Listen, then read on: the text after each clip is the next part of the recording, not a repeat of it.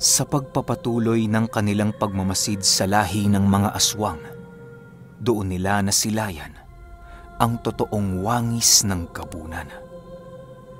Nasa orihinal niya itong kaanyuan kung kaya't madali itong namukaan nila Eseng. Ilang minuto pa ang lumipas, biglang naglakad ang matandang babae patungo sa kanilang harapan upang sila ay kumprontahin. Meron itong daladalang pusang itim na parabang meron ring sariling pag-iisip. Nakatingin lamang ito sa pangkat nila Eseng habang patuloy nitong inilalabas ang kanyang maliliit na pangil. Nang marating na nito ang angkop na distansya sa pangkat ng mga antingero, dahan-dahan naman itong tumigil habang nagsasabi ng Batid kong hindi kayo natitinag sa ginawa ni Panginoong Kanyas. Ngayon meron na naman kayong lakas upang salakayin ang aming tribong nananahimik. Tinag ba ka mo? Sa Diyos lang kami matitinag, demonyo. Kahit paulit-ulit nyo kaming pagpapatayin, basta may natitirang buhay sa amin – patuloy naming ipaglalaban ang aming paniniwala at pananampalataya. Magwawagi at magwawagi kami dahil nasa likod namin nakaantabay ang amang dakila. Sigaw ni Ermetanyong Tasyo. Nang marinig ito ng babae, tumawa lang naman ito na parabang nakakatawa ang sinabi ng guro nila Esing. Hinayaan lang naman nila ito sa puntong yon upang hindi nila magawang maibaling ang kanilang buong atensyon sa matandang gabunan. Maaari kasing parte lamang yon ng kanilang panlilinlang upang sila ay magawa nitong sugurin nang nakababa ang kanilang mga depensa. Habang patuloy na humahalakhak ang matandang gabunan, bigla na lamang nag-iba ang buong kaanyuan nito. Kasabay ng dahan-dahan itong pagpapalit ng anyo ay ang pagbaba naman ng pusa sa kanyang pagkakakulong na siyang sinunda ng tingin ni Esing. Tumakbo ang pusang yon papalayo sa matandang babae na parabang meron itong pupuntahang lugar. Habang nananatiling nakatayo lang ang matandang babae, patuloy namang nagsisilabasan ang mahahaba nitong buhok sa kanyang katawan. Sinasabayan din ito ng mahihinang pag-ungol habang patuloy na umuunat ang kanyang mga buto sa katawan. Subalit bago pa man ito tuluyang makapagpalit ng anyo, biglang lumabas si Huben sa katawan ni Esing na daladala ang basbas ng hiyas ng ipo-ipo. Mabilisan nitong nilipol ang lahat ng kalahi ng gabunan na halos kisap mata lamang ang naging pagitan. Sa pagsilay ng matandang babae sa kanyang likuran, laking gulat na lamang niya nang masipat niya ang dahan-dahang pagsibagsakan ng mga katawan ng kanyang kalahing wala ng buhay. Ni isa sa mga ito ay hindi na nagawang pumalag dahil sa napakabilis na mga pangyayari. Pagbalik niya ng paningin niya sa harapan nila Esing, bumungad sa kanya ang matipunong katawan ni Huben na dahang-dahang idinidikit sa kanyang leeg ang napakatalas nitong espada. Magdasal ka na sapagkat hindi ka nasisikatan ng araw. Wika ni Huben. Lahat ng nangyayari ngayon ay naayon sa aking plano.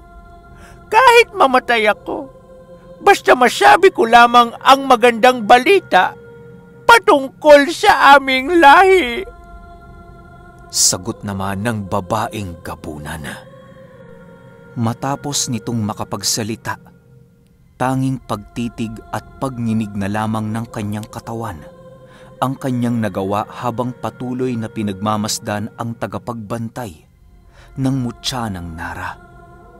dahil nasa kalagitnaan pa lamang ito ng kanyang pagpapalit anyo kung kaya't hindi na nito nagawa pang makapalag sa kasangga ni Eseng. Ilang minuto pa ang lumipas, biglang lumapit sa kanyang harapan ang pangkat nila ermetanyong tasyo nang nakangisi. Maaari bang ulitin mo ang sinabi mo kanina? Ngunit ginang, binabalaan kita. Magdahan-dahan ka sa iyong pananalita dahil hindi tao ang nilalang na humahawak sa espadang yan. Kapag nagkamali ka, hihiwalay ang ulo mo sa iyong katawan nang hindi mo nalalaman. Wika ni Ermetanyong Tasyo. Nang marinig ito ng matandang babae, umangi lang naman ito habang patuloy na tinitingnan ng ermetanyo. Ilang minuto pa ang lumipas, bigla namang nakarinig sila Esing nang papasugod na nilalang na nanggagaling sa daang tinahak ng pusa.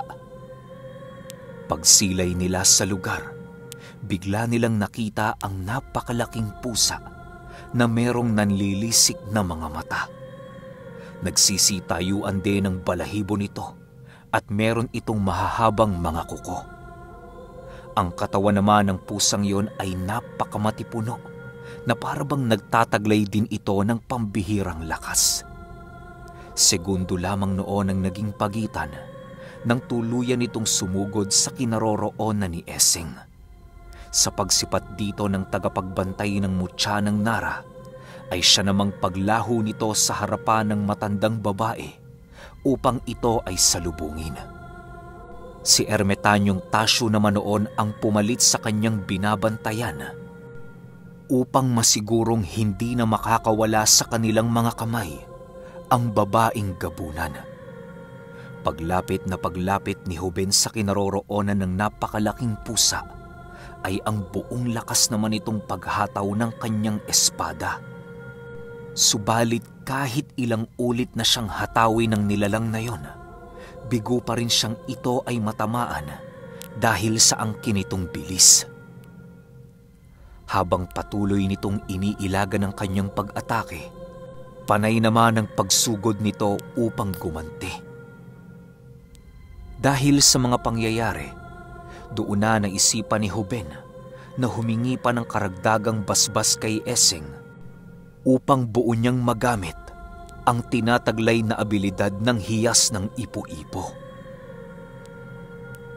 Panginoon, hinihiling ko ang iyong basbas upang gamitin ng buong lakas ang hiyas ng ipo-ipo.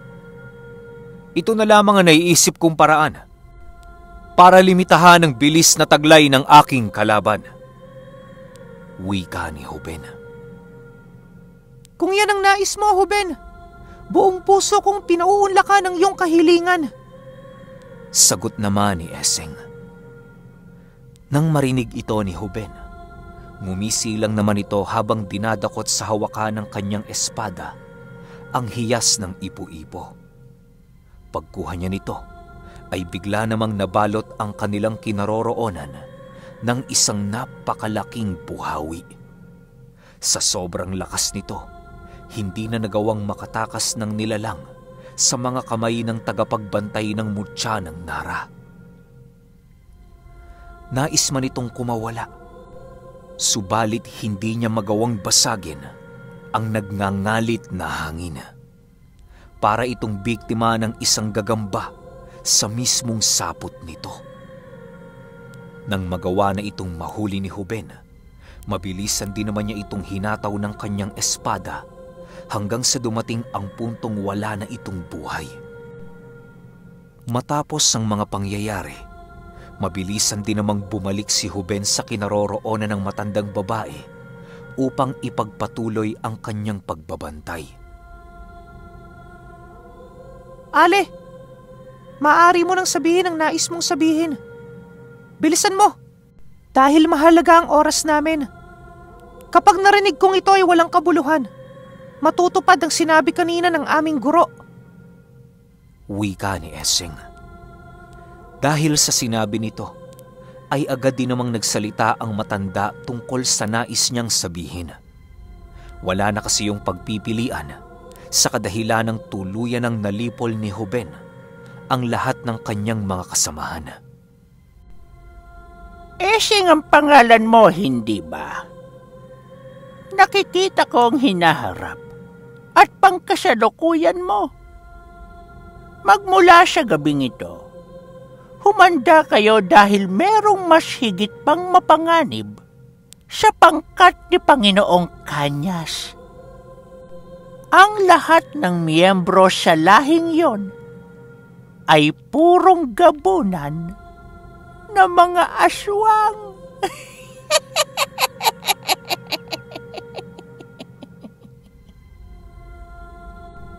Kung nais mo silang makita, bumalik ka sa lugar na minsan mong iniwan.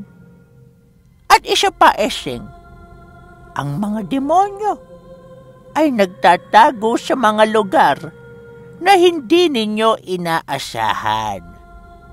Maiging pag-iingat dahil nakahanda ang kanilang mga binabalak.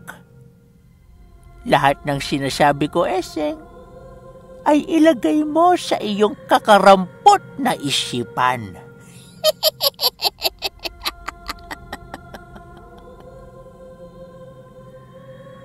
Wika at pang-iinsulto ng matanda. Nang marinig ni Eseng ang sinabi nito, bigla naman siyang natigilan sa kanyang kinatatayuan. Halos hindi niya kayang maisip noon sa kung ano pa ang nilalang na mas malakas pa ng dihamak sa mga demonyong kaanib ni Kanyas. Nang magawa na niyang mahimasmasan, mabilisan din naman niyang iniutos kay Hoben na patayin na ang gabunang kanilang nahuli. Ngunit nang marinig ito ng matandang babae, labis-labis na lamang ang pagkagulat ni Essing nang mapansin niyang hindi ito nagmakaawa kahit sa kahuli-hulihan ng kanyang buhay. Ang tanging isinisigaw lamang nito habang dahan-dahan siyang ginigilita ng leegay. Natupad ko na ang misyon ko! Malaya na ako! Malaya na ako, Panginoong Dar... Hindi nito natapos ang kanyang sinabi. Gawa ng agad ding bumagsak ang nakahiwalay na ulo nito sa lupa. Hindi na rin ito nagawa pang lingunin nila Essing sa kadahilan ng para sa kanila walang silbi ang ganoong uri ng nilalang. Sa pagpapatuloy ng kanilang pagbagtas sa daan, wala naman silang nakitang kakaiba maliban sa mga insektong umaaligid sa isang kubong di kalayuan sa sentro ng sityo. Hindi na nila ito ninais pang lapitan dahil sa papasapit na noon ng umaga. Nang makabalik na sila sa kanilang tahanan, kanya-kanya naman silang pwesto ng kanilang mahihigaan. Panatag at masaya noon ang kaisipan nila Essing dahil sa naging matagumpay ang misyon ng kanilang pangkat noong nagdaang gabi. Ang tanging ikinakabahala lamang nila ay ang mga huling katagang binitawan ng babaeng gabunan. Eseng, hindi ka ba nababahala sa sinabi ng matandang babae? Ramdam ko kasing hindi yung nagbibiro sa kanyang iniwang babala sa atin. Kung totoo ngang malakas ito ng dihamak kay Kanyas, sigurado kung wala tayong magiging panama sa mga ganoong uri ng demonyo. Sa tingin mo, Eseng, may magagawa kaya tayo kung dumating sa puntong makakalaban natin sila? Wika ni Manong Timo. Hindi ko rin alam, Manong Timo, kung ano ang mangyayari sa ating pangkat. Pero hindi ako lubos na naniniwala na mayroong mga demonyo sa mundong ito na mas higit na makapangyarihan sa mga sugo ng Panginoon. Basta palagi natin babasahin ang lahat ng turo ng nasa itaas. Wala tayong dapat katakutan. Ang tanging mapanganib lamang manong timo ay ang dahan-dahang pagtalikod sa atin ng ating sarili Dahil sa mga panlilin lang ng mga demonyo. Sagot naman ni Essing. Kaya habang hindi pa kayo tinatraydor ng inyong mga sarili, palakasin nyo na ang inyong mga pananampalataya dahil yan lamang ang magsasalba. Matulog na kayo at maghanda dahil maraming magaganap kinabukasan. Hindi nyo ba napapansin ang sama ng hanging umiikot sa kalangitan? Singit naman ni Ermetanyong Tasyo. Matapos nilang mag-usap, napagpasyahan ng mga ito na ipagpatuloy na ang kanilang pagpapahinga. Sa pagsapit ng umaga, maaga pang nagising sila Makot at Hulyo dahil sa yon ang unang natulog sa kanilang pangkat. Nang mapansin nilang tulog na tulog pa sila Eseng, pinili nilang magluto na muna ng makakain upang harapin ang araw na yon nang hindi kumakalam ang kanilang mga sikmura. Sa pagsapit ng umaga noong mismong araw, maaga pang tinungo ni Eseng ang kanilang baryo. Kasakasama niya noon si Makot upang bumili ng mga gamit pang ganchilyo. Bibili din sila roon ng kagamitan ni Ermetanyong Tasyo sa paggawa nito ng salakot. Habang naglalakad sila sa kanilang baryo, panay pa ang kanilang pag-uusap sa mga nangyari noong nagdaang gabi. Iniisip kasi nila noon kung meron bang koneksyon ng matandang babae sa kinaroroonan ni Pipel. Kahit alam nilang patay na ang kanilang kapatid, patuloy pa rin silang umaasa na ito ay magagawa nilang maisalba. Nang madapo na sila sa tindahan ng kanilang mga kinakailangan, dahan-dahan naman nilang hinanap ang mga ipinabibili ni Ermetanyong Tasyo. Iho, Taga saan kayo? Bakit palagi ko kayong nakikita sa lugar na ito? Papiyok-piyok na tanong ng may-ari ng tindahan. Taga dito lang din ho kami, Tiyo. Yun nga lang, medyo may kalayuan ang aming tahanan sa ating baryo. Sagot naman ni Makot. Ah, ganun ba? O sige, pumili na kayo dyan. Sagot naman ng lalaki. Sa pagpapatuloy ng pagpipili nila Eseng ng kanilang bibilhin, panay naman ang pagsilay nila sa mga naglalakad na ipis sa buong paligid. Akala nila, normal lang ang ganoong pangitain sa lugar na yon dahil sa malapit ito sa tambakan ng basura. Ngunit, biglang nag-iba ang kanilang pakiramdam nang makasilay sila ng isang kulay lilang barang. Naglalakad yon sa bigasan na kahit maladaliri na ang laki nito, hindi ito nagagawang masilayan ng may-ari. Animoy pinapabayaan lamang yon ng lalaki na siyang naging palaisipan para sa kanilang dalawa. Sa pagpapatuloy ng kanilang pagpipili ng kanilang mga bibilhin, ipinagsawalang kibo na lamang yon nila Esing upang kahit papaano'y hindi na humaba pa ang kanilang talakayan. Matapos nilang makapili, agad din naman nila itong binayaran. Paghawak ng lalaki sa kamay ni Essing, bigla na lamang natapik nito ang mga bariyang nasa kanyang palad na parabang napaso ito sa balat ni Essing. Sa puntong yon, hindi na napigilan ng magkapatid ang magtinginan sa bawat isa upang pag-isipan ang mga nangyari. Ano ba naman yan? Hahawak-hawak kayo ng barya, may orasyon pa. Lumayas na nga kayo rito. Layas! Galit na wika ng lalaki. Bakit manong? Takot ba kayo sa orasyon ng Panginoon? Pinabalaan ka namin ha.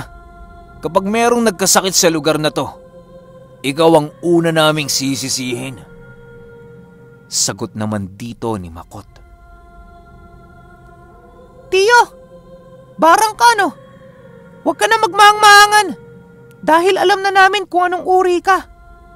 Naway itatak mo sa iyong isipan ang babala ng aking kapatid upang hindi na tayo magpang-abot sa kung saan-saan. Dagdag naman ni Essing. Kasabay ng pagwika ni Eseng sa matanda, ay siya namang pagkuha nito ng kapirasong tabako ng hindi binabayaran. Sa pagtalikod nila sa lalaki, bigla na lamang silang nakaramdam ng pagmamarka nito sa kanilang mga katawan. Subalit ninais lamang nila itong ipagsawalang bahala. Huwag mo nang subukan yan, Manong! Dahil masisira lang yung buhay mo wika ni Makot.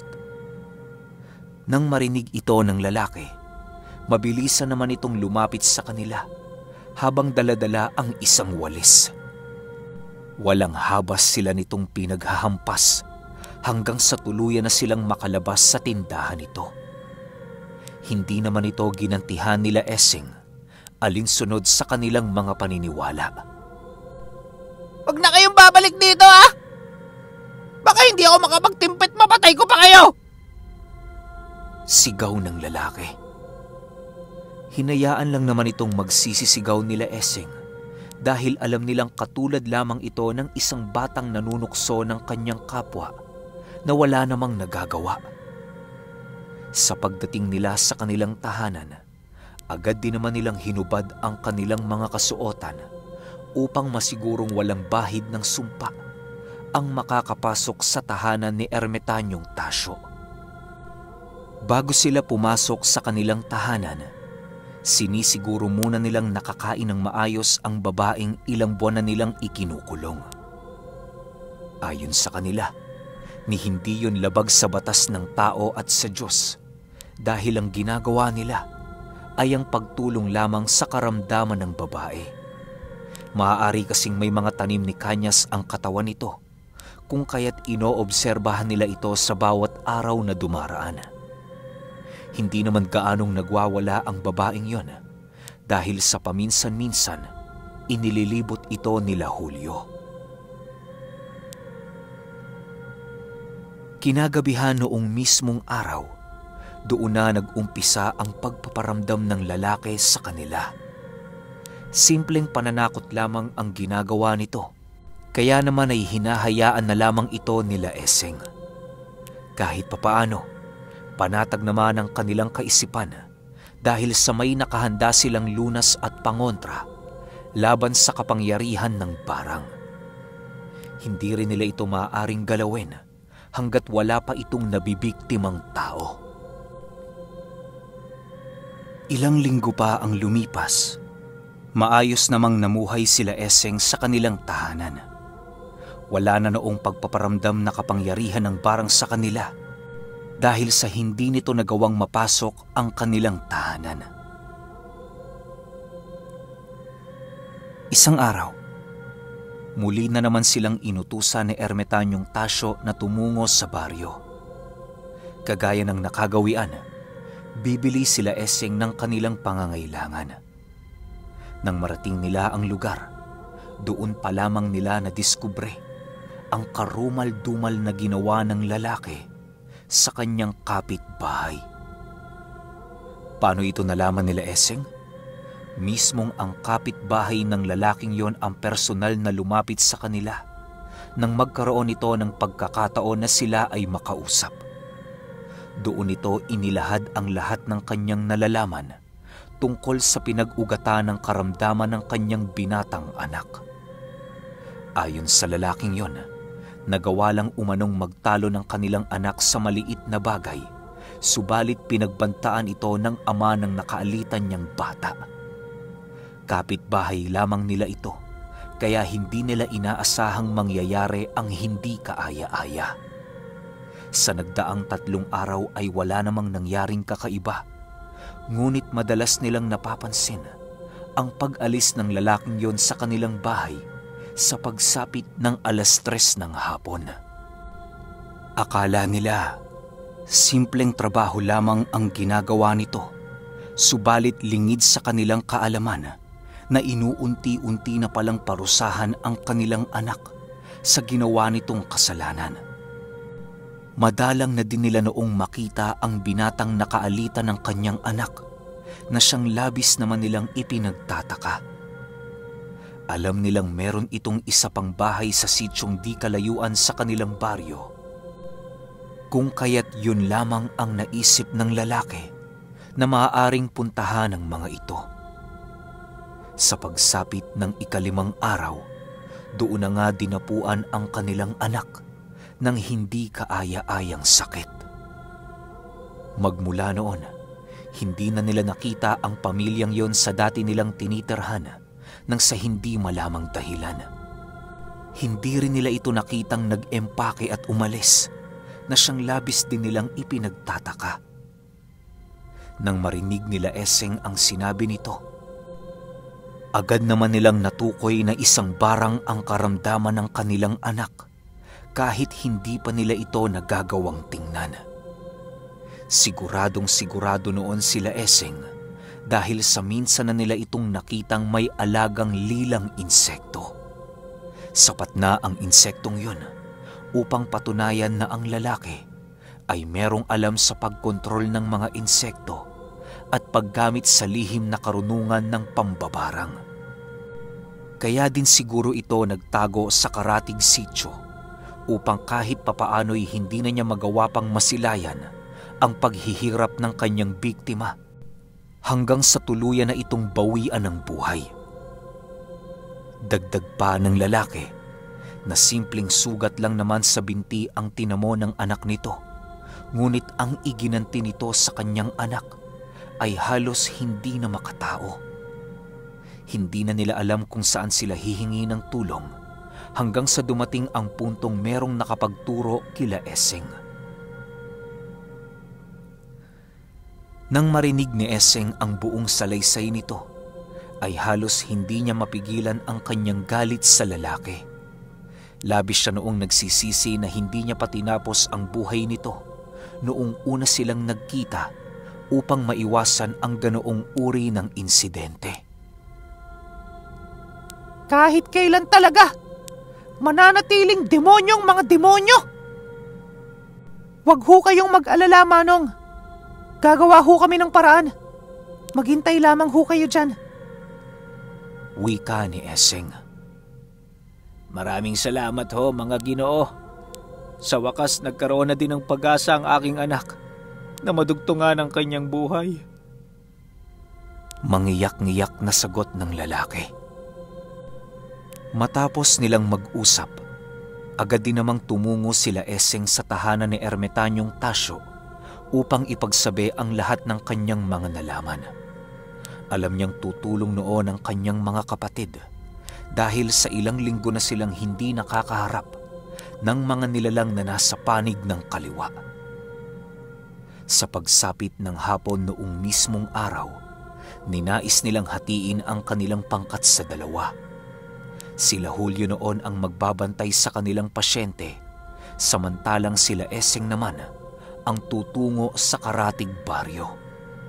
Nasa alas 4 na yon ng hapon, kung kaya't inaasahan nila Eseng na hindi madali ang kanilang gagawing pakikipag-usap sa mambabarang. Nang marating na nila ang karatig baryo, tinungo na nila ang isang kubong minsan nilang nakita noong pumaslang sila roon ng isang angka ng mga aswang. Kung hindi sila noon nagkakamali, yon ang maaaring pinamamahayan ng lalaking mambabarang. Nang marating na nila ang pamamahay nito, Pumungad sa kanilang mga paningin ang nakaupong lalaki. Hindi yun gumagalaw, subalit kitang-kita ni Eseng ang pagbubuka ng bibig nito na para bang meron itong ipinapalipad hangin. Nang masipat sila nito, mabilisan din naman itong pumasok sa kanyang pamamahay. Manong! Lumabas ho kayo dyan! Wika ni Eseng. Okay, um, hanggang dito pa lang tayo.